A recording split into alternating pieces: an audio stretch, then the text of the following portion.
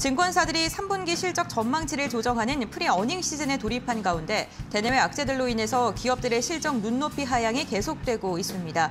절반이 넘는 상장사들의 영업이익 추정치가 한 달 전 대비 낮아졌는데요. 관련 이야기 확인해 보도록 하겠습니다. 네, 국내 상장사 대부분이 3분기 실적이 악화될 것이다라고 전망이 되고 있습니다. 뭐 한 달 사이 예상 영업이익 2조 가량 줄어든 것으로 집계가 되고 있는데 그만큼 어, 안 좋습니까 상황이? 네, 그렇죠. 그- 네. 그 하반기 이후에는 계속 이제 그 경기가 안 좋을 것이다라고 얘기는 계속 나왔었고요. 네. 어, 그 동안은 이제 기업들이 뭐 수출이 어느 정도 이제 버- 버텨줬기 때문에 좋아졌다라고 보이는데 하반기 이후에 아마 수출 감 수출 증가세에서 상당 부분 약화되지 않을까라는 생각을 해보고 있습니다. 어, 그렇기 때문에 뭐 증권사 세 곳 이상의 이제 실적치를 발표하고 있는 226개 이제 상장사를 대상으로 인해서 영업이익 전망치를 이제 추정을 해봤는데요. 어, 지난 아, 3분기의 영업이익이 53조 5천억 정도로 지금 예상을 하고 있습니다. 7월 말에 예상했었던 거에 비해서 3.3% 정도 되고요. 아, 하락을 했고요. 작년 3분기에 57조 9천억에 비해서는 7.6% 지금 감소할 것이다라고 예측을 할 만큼 뭐 그만큼 이제 상황이 좀 안 좋다라고 보시면 될 것 같습니다. 가장 큰 이유가 대외적인 악재가 계속 불거지고 있다라는 거거든요. 특히 이제 우크라이나 전쟁이 계속 지속이 되고 있고요. 중국의 이제 도시 봉쇄에 따라서 뭐 공급망 불안, 그다음에 국내 수출에 대한 어려움 등이 감안을 했다라고 보시면 될 것 같습니다.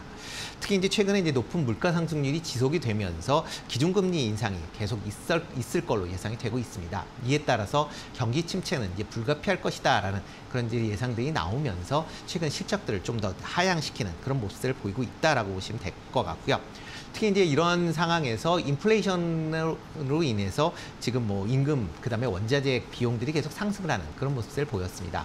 그렇기 때문에 기업 실적들은 아마 추가적으로 더 낮아질 가능성도 충분히 있다라고 생각하고요. 아직까지 지금 낮아진 폭으로 본다라고 하게 되면 아직까지도 더 낮아질 가능성은 있다라고 예상을 좀 하고 있습니다.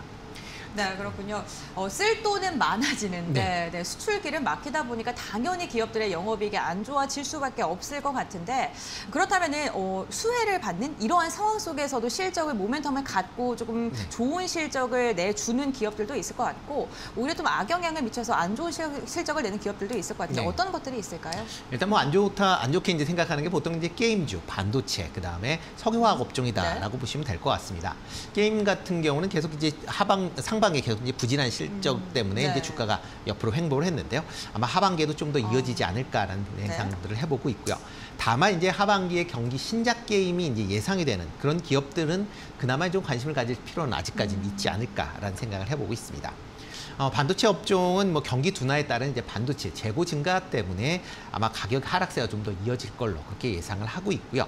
어, 이에 따라서 뭐 S- 삼성전자나 SK 하이닉스의 3분기 영업 실적도 좀 하향 조정되고 있는 그런 상황이다라고 보시면 되겠습니다. 특히 이제 반도체 장비 업체 중심으로 하락폭이 좀 더 클 걸로 지금 예상을 하고 있고요. 석유화학 업종도 뭐 경, 중국의 경, 뭐 계속 봉쇄에 따른 경기 둔화 우려감으로 인해서 실적 둔화가 예상이 되고 있습니다. 다만 이제 좀 긍정적으로 보여야 될 게 뭐 항공, 이차 전지, 그다음에 지주회사 관련된 부분은 조금 영업 실적들을 하향 조정을 하고 있는 그런 상황이다라고 보시면 되는데요. 특히 뭐 항공 업체는 뭐 경제 활동 재개에 따라서 실적 개선 기대감이 좀 더 확산되고 있다라고 보시면 되겠고요. 어, 이차 전지 관련된 부분은 일단 뭐 미국의 이제 IRA 법안 관련돼서 뭐이차 전지 소재 관련된 부분이 좀 긍정적인 영향을 미칠 것이다라고 예상을 하고 있고요. 이와 더불어 신재생에너지 관련주들도 조금 더 관심 있게 보시면 어떨까 싶습니다. 그리고 뭐 지주회사 같은 경우는 뭐그 지금까지 상당히 좀 안 올랐었던 그런 이제 모습들을 보이고 있는데요. 그렇지만 이제 안정적인 배당을 가능케 한다라는 거고요. 특히 자회사 중에서 신재생이나 아니면 어떤 이제 새로운 산업에서 그 실적이 바탕이 되는 그런 이제 지주 중심으로는 조금 더 관심을 가지실 필요가 있지 않을까라는 생각을 해보고 있습니다. 뭐 일단 안정적인 수익에 이제 배당을 기대해 볼 수 있는데요. 어, 대표적으로 뭐 하나나 SK 같은 이런 지주회사도 관심 있게 보시면 어떨까 싶습니다.